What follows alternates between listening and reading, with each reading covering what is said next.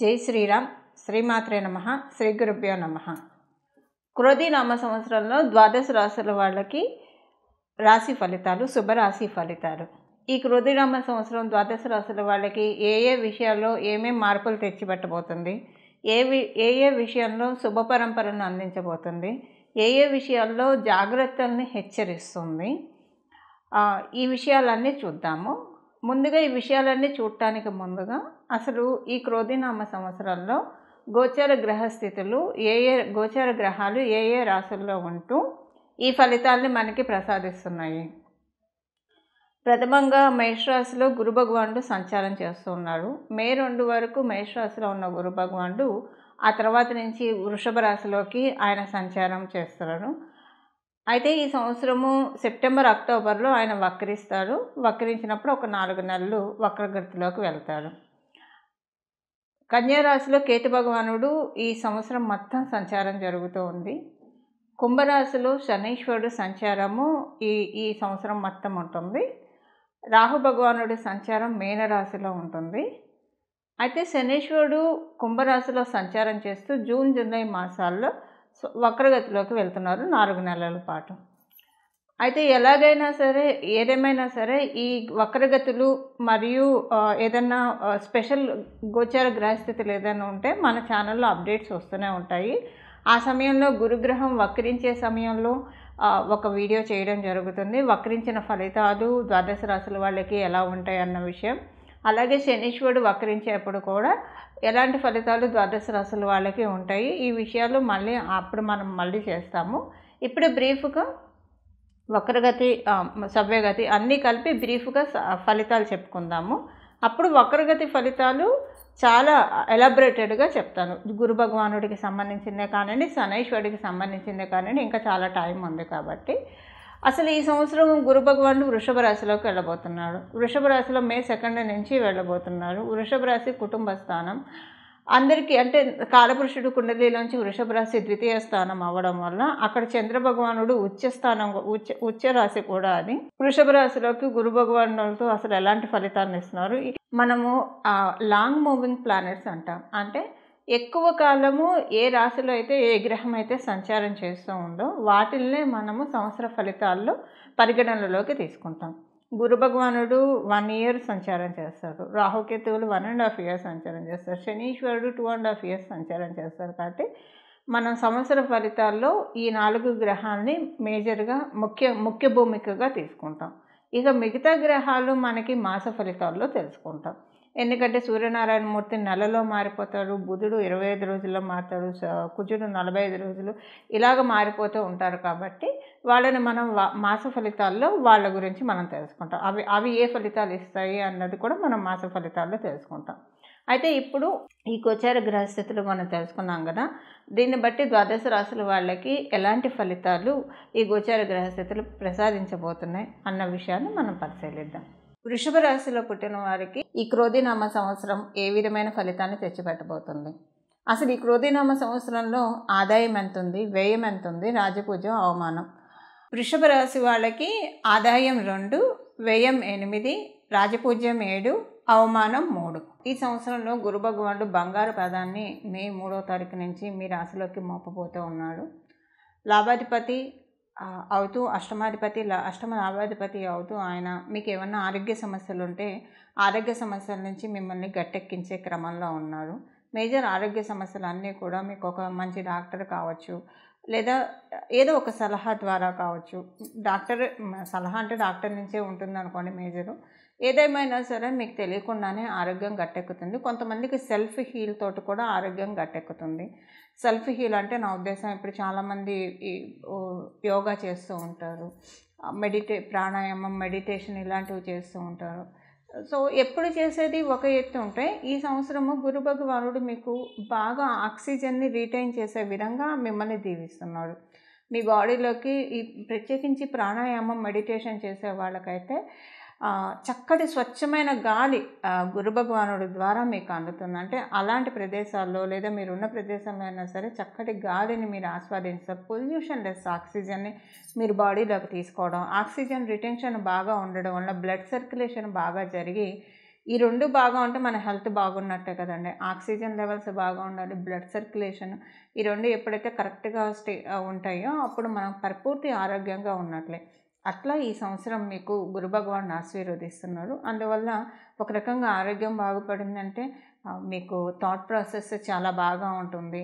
ఈ సంవత్సరం అన్నీ అంతా చాలా పాజిటివ్ థింకింగ్తో ఉంటారు. పాజిటివ్ థాట్స్ తోటి వెళ్తారు. అంత ప్రశాంతంగా ఉంటుంది. ప్రతి ఒక్కరిలో కూడా దైవత్వాన్ని చూడగలిగే విధంగా గురు భగవాన్ మిమ్మల్ని దీవిస్తూ ఉన్నాడు. అలాగే మిమ్మల్ని కూడా చాలామంది మిమ్మల్ని కూడా అందరూ అలానే చూస్తారంటే చాలా సా- దైవత్వంతో కూడిన వ్యక్తులుగా చూస్తారు. ఈ సంవత్సరం మీ మీరు చేస్తున్న మీరు కనుక మంత్ర సాధనలు ఏమన్నా చేస్తూ ఉంటే ఆ మంత్ర సాధనలు ఉత్కృష్టం అవ్వడానికి చాలా బాగా అవకాశం ఉంది. ఈ మంత్ర సాధనలో ఇంకా మీరు పురోభివృద్ధి చెందడానికి మంత్రం సిద్ధించడానికి చాలా అవకాశం ఉంది. ఈ సంవత్సరం కొంతమంది మంత్రం తీసుకోవాలని అనుకుంటూ ఉంటారు. అలా తీసుకోవాలనుకున్న వాళ్ళందరికీ ఎవరైనా గురువుల దగ్గరికి వెళ్ళి మంత్రోపదేశం తీసుకోవాలనుకున్న వాళ్ళకి ఈ సంవత్సరం చాలా బాగా ఉంది. మే సెకండ్ నుంచి తీసుకోండి. కాలబలం దైవబలం బాగా ఉన్న సమయంలో మనం ఇలాంటి పనులు చేస్తే కాలం కలిసి వస్తుంది దైవం సహకారం కంప్లీట్గా ఉంటుంది. ఆల్రెడీ మంత్రం తీసుకున్న వాళ్ళకి ఈ సంవత్సరం చాలా బాగా ఉంటుంది. ఆ, మన ఇప్పుడు రెండు వేల ఇరవై మూడు అక్టోబర్ నుంచి ఇన్సెక్యూర్డ్ థాట్స్ దానికి ఇదమిత్తంగా కారణం ఇదనే ఏమి ఉండదు. ఒకరోజు బాగా ఉంటుంది. ఎవరి విషయంలోనే కావచ్చు మీ విషయంలో కావచ్చు ఆలోచనలు ఒకరోజు అమ్మయ్య ఇదంతా బాగానే ఉంది నేను అనుకున్నట్లు ఏమి ఉండదు అని అనుకుంటారు. మళ్ళీ వెంటనే ద వెరీ నెక్స్ట్ డే ఏమో ఇది ఇలా లేదేమో అలా లేదేమో ఇలాగా మీరు అంటే మీ చుట్టూ ఉన్న వ్యక్తుల పట్ల కావచ్చు లేదా మీ- మీకు జరగబోయే పరిస్థితుల పట్ల కావచ్చు ఏది ఏ రకంగా మనం చూసుకున్నా కూడా ఒక అనవసరమైన భయము ఆందోళన యాంగ్జైటీ లోపల బాగా కుక్కేసుకున్నారు బాగా కుక్కేసుకున్నారు. అది ఇప్పుడు మే రెండో తారీఖు తర్వాత నుంచి దాంట్లోంచి రిలీజ్ అవుతారు. చాలా క్లారిటీగా ఉంటారు హ్యాపీగా ఉంటారు. సంతానం విషయంలో చాలా సంతోషంగా ఉంటుంది. సంతానం యొక్క పురోభివృద్ధి ఈ సంవత్సరం చాలా బాగా ఉంది వృషభ రాశిలో పుట్టిన వాళ్ళకి. అలాగే స- మీరు కనుక వృషభ రాశిలో పుట్టిన విద్యార్థిని విద్యార్థినులు అయితే కనుక ఒక మంచి స్టడీ ఒక ట్రాన్స్పరెన్సీ స్టడీస్లో ఒక ట్రాన్స్పరెన్సీ వస్తుంది. ఏ సబ్జెక్ట్ తీసుకుంటే మీకు బాగా కలిసి వస్తుంది ఈ విషయాల్లో మీకు చక్కటి ట్రాన్స్పరెన్సీ వస్తుంది.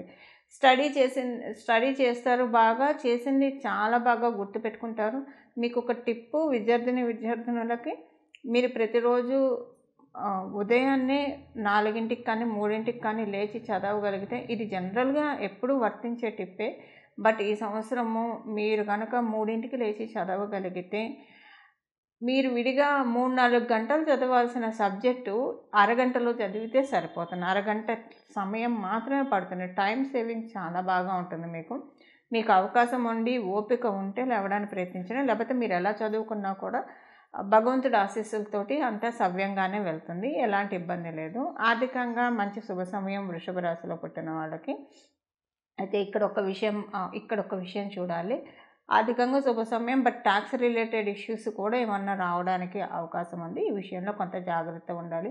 మీ జ్యేష్ఠ సోదరి సోదరులతోటి కొంత విభేదాలు విభేదాలు వస్తాయి. ఒకవేళ ఇప్పుడు మీ ఇద్దరి మధ్య విభేదాలు ఏం లేదు చాలా బాగా ఉంది అని అనుకుంటే వాళ్ళకి ఫైనాన్షియల్ విషయాల్లో కావచ్చు లేదా ఆరోగ్య సమస్యలు ఈ రెండిట్లో ఏదో ఒకటి. అంటే ఉదాహరణకి మీకు వాళ్ళకి మధ్య ఏమైనా విభేదాలు వచ్చాయనుకోండి అప్పుడు ఈ సంవత్సరం వరకు ఉంటుంది తర్వాత అది సమస్య పోతుంది. అప్పుడు వాళ్ళకి ఫైనాన్షియల్ ఇష్యూస్ కానివ్వండి హెల్త్ ఇష్యూస్ కానివ్వండి రావు. ఒకవేళ కనుక మీ ఇద్దరి మధ్య రిలేషన్ బాగా ఉంది ఎలాంటి ఇబ్బంది లేదనుకుంటే వాళ్ళకి మీ జ్యేష్ఠ సోదరి సోదరుల కంటే అక్కలకి అన్నలకి కొంత ఫైనాన్షియల్ పరంగా కొంత టెన్షన్ టెన్షన్ఫుల్ సిచ్యువేషన్స్ అన్నా ఉంటాయి ఒకవేళ ఫైనాన్షియల్ పరంగా బాగుంటే హెల్త్ పరంగా ఇబ్బందులు ఉంటాయి. ఈ రెండిట్లో ఏదో ఒకటి ఉంటుంది. ఇలాగా లేదా మిమ్మల్ని ఇగ్నోర్ చేస్తున్నట్టు మీరు భావించవచ్చు. ఇలా ఏదన్నా కొంత ఉండే అవకాశం ఉంది. బట్ ఫైనాన్షియల్గా మీకైతే సంతృప్తికరంగానే ఉంటుంది ఈ సంవత్సరము. ఎలాంటి ఇబ్బందులు అనిపించదు. సంతృప్తికరంగానే సాగుతుంది. అలాగే ఉద్యోగస్తులకి ప్రత్యేకించి ఈ సంవత్సరం చాలా బాగా ఉంది. ఉద్యోగస్తులకి ఉద్యోగంలో రాణించడానికి ఇప్పుడు ఇన్నాళ్ళు మీరు కష్టపడ్డ దానికి మంచి స్టప్ స్టెప్స్కి వెళ్ళటానికి పురోభివృద్ధి స- చూడటానికి అవకాశం చాలా బాగుంది శనీశ్వరుడు కుంభరాశిలో సంచారం చేస్తున్నాడు. దశమాధిపతి దశమ దశమ స్థానంలో సంచారము చాలా మంచి శుభ ఫలితాన్ని మీకు అందజేస్తుంది. ఈ శుభ ఫలితాలు ఉద్యోగస్తులకి కంప్లీట్గా వర్తిస్తాయి. ఉదాహరణకి మీరు గృహిణీలే అనుకోండి. గృహిణీలు అయినప్పుడు మీకు సొసైటీలో చాలా మంచి రాపం ఉంటుంది అందరితోటి. అందరితో సత్సంబంధాలు కలిగి ఉంటారు. అందరూ మిమ్మల్ని అపార్థం అయితే చేసుకోరు కరెక్ట్గా అర్థం చేసుకుంటారో చేసుకోరో కానివ్వండి అపార్థం అయితే డెఫినెట్గా చేసుకోరు. మీ జన్మజాతకం బాగా ఉంటే మిమ్మల్ని మిమ్మల్ని యథాతనంగా మిమ్మల్ని అర్థం చేసుకోవడానికి ప్రయత్నిస్తారు. వ్యాపారస్తులకి ఈ సంవత్సరము ఒక మేజర్ చేంజ్ జరుగుతుంది. ఏకకాలంలో శనీశ్వరుడు మరియు గురు భగవానుడు ఇద్దరూ కూడా వృశ్చిక రాశిని మీకు సప్తమ స్థానాన్ని వాళ్ళిద్దరూ కలిసి చూస్తున్నారు. ఒక మంచి చేంజ్ జరుగుతుంది వ్యాపారస్తులకి. ఈ చేంజ్ అది పెద్ద మొత్తంలో జరుగుతుందా లేదా ఓకే అసలంటూ జరుగుతుందా? ఈ విషయాలు మీ జన్మజాతకాన్ని మీద ఆధారపడి ఉంటుంది. అసలంటూ అయితే ఒక చేంజ్ జరుగుతుంది. ఈ చేంజ్ జరగడానికి ముందుగా మీకు మీ బండి మీ వెహికల్కి చిన్న యాక్సిడెంట్ అవ్వడం అంటే మీకైతే ఏం కాదు చిన్న యాక్సిడెంట్ అవ్వడము లేదా ఆ బండి రిపేర్కి రావడము సడన్గా మీరు వెహికల్ అమ్మేయాలనుకోవడము లేదా భూమి పరంగా ఏదైనా చిన్న ఇష్యూస్ రావడము ఇలాంటిది జరుగుతుంది. ఇది ఇది ఒక ఇండికేషన్గా మీరు భావించండి. ఇలాంటి ఇండికేషన్ వచ్చి తర్వాత మీకు వ్యాపారంలో మార్పు మార్పు తటస్థిస్తుంది. మీరు ఏ వ్యాపారం అన్నా చేయండి.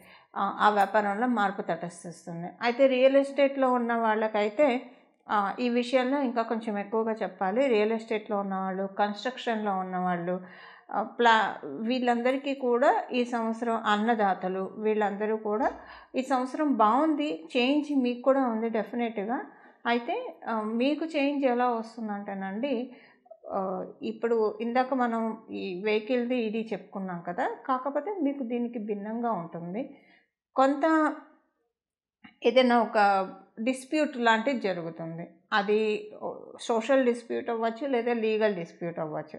ఆల్రెడీ మీరు డిస్ప్యూట్లోనే ఉన్నారనుకోండి ఈ ఈ పాయింట్ ఇగ్నోర్ చేయండి. నిండా మునిగిన వాడికి చాలా ఏంటి చెప్పండి.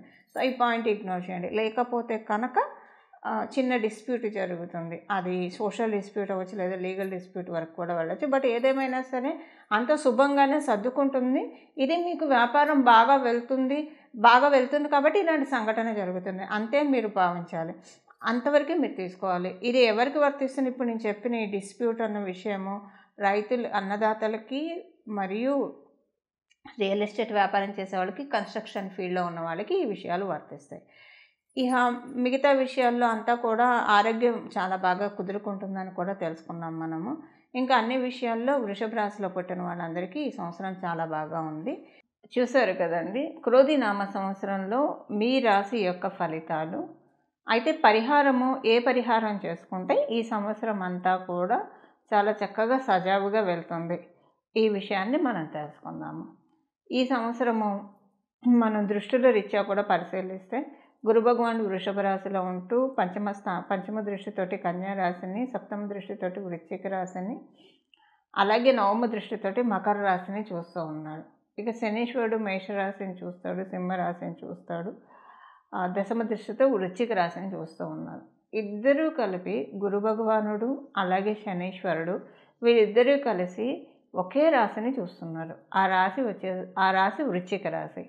ఈ సంవత్సరము అయితే వీళ్ళిద్దరూ కలిసి ఎక్కడున్నా వీళ్ళిద్దరూ కలిసి ఏ స్థానం మీద దృష్టి పెట్టినా ఆ స్థానము మీ జన్మకుండలిలో ఏదవుతుందో ఆ విషయంలో కొన్ని మంచి మార్పులు చోటు చేసుకుంటాయి. ఉదాహరణకి మీది మేషరాశి అయింది అనుకోండి అంటే మనం ఏదవుతుందో దాని ఫలితాలు ఆల్రెడీ నేను చెప్పాను కదా. దానికి సంబంధించి ఒకవేళ చెడు ఫలితాలు ఉంటే తగ్గించుకోవడానికి. అంటే చెడు ఫలితాలు అయితే ఉండదు. ఇది బ్యాలెన్స్డ్గా అన్న ఉంటుంది. లేదంటే ఒక మంచి మార్పు అన్న తెచ్చిపెడుతుంది సో ఏ ఫలి ఈ- మంచి మార్పు ఇంకా మీ మీ జన్మజాతకం సపోర్టింగ్గా లేకపోతే కనుక ఈ మంచి మార్పుని సు సుస్థిరం చేసుకోవడానికి మంచి మార్పు యాక్టివేట్ చేసుకోవడానికి చేయాల్సిన పరిహారం మనం ఒకసారి పరిశీలిద్దాం. వృశ్చిక రాశి శనీశ్వరుడు మరియు గురు భగవానుడు ఇద్దరు ఏకకాలంలో చూస్తూ ఉన్నారు కాబట్టి అంటే మే నుంచి గురు భగవానుడు చూస్తాడు. మే వరకు గురు భగవానుడు మేషరాశిలో ఉంటాడు కాబట్టి ఆయన చూసే అవకాశం లేదు. ఎలాగో మనకి ఒక రెండు నెలల్లోనే ఉగాది మొదలైన రెండు నెలలు ఒక ఒకటిన్నర నెలలోనే మే వచ్చేస్తుంది కాబట్టి అయితే ఈ ఇప్పుడు మనం చేయాల్సిన పరిహారము ఈ సంవత్సరం అంతా కూడా కార్తికేయుని ఆరాధన లేదా లక్ష్మీ నరసింహస్వామి వారి ఆరాధన హనుమంతుని ఆరాధన. వీళ్ళ ముగ్గురులో ఎవరో ఒక్కళ్ళని పాదాలను శరణు వేడినా పర్వాలేదు. లేదా ముగ్గురిని అర్చించినా చాలా ఇంకా చాలా మంచి శుభ ఫలితాలు వస్తాయి. ఇక్కడ మనం ఒక చిన్న న్యూమరాలజికల్ ఆస్పెక్ట్ కూడా చూడాలి. రెండు వేల ఇరవై నాలుగు అంటే అవి మొత్తం మనం కనుక ఆ లెక్క వేస్తే నెంబర్ ఎయిట్ వస్తుంది. ఈ ఎనిమిది సంఖ్యకి అధిపతి శనీశ్వరుడు. శనీశ్వరుడు ఈ ఈ సంవత్సరము న్యూమరాలజికల్గా రూల్ చేస్తూ ఉన్నారు. సో ఇక్కడ మనకి వృశ్చిక రాశికి అధిపతి మంగ మంగళుడు బ్ర అంగారకుడు అని చెప్తాం. సో వీళ్ళిద్దరికీ ఎప్పుడూ కూడా పూర్తిగా అనుకూలంగా ఉండదు. అందువల్ల వీళ్ళు ఇప్పుడు అంటే వచ్చే యోగాన్ని మనం వడిసి పట్టుకోవడానికి ఈ గ్రహ ఇప్పుడు మనం తెలుసుకున్న ఈ దేవీ దేవతల ఆరాధన అంటే కార్తికేయుని ఆరాధన కావచ్చు లేదా హనుమంతుడి ఆరాధన లక్ష్మీ నరసింహస్వామి వారి ఆరాధన. ఈ ముగ్గురు ఎవరు ఆరాధన చేసినా పర్వాలేదు. ముగ్గురిని కలిపి ఏకకాలంలో ఆరాధన చేసినా పర్వాలేదు. చాలా చక్కటి శుభ ఫలితాలు అందుకోవడానికి నిస్సందేహంగా అవకాశాలు ఉంటాయి.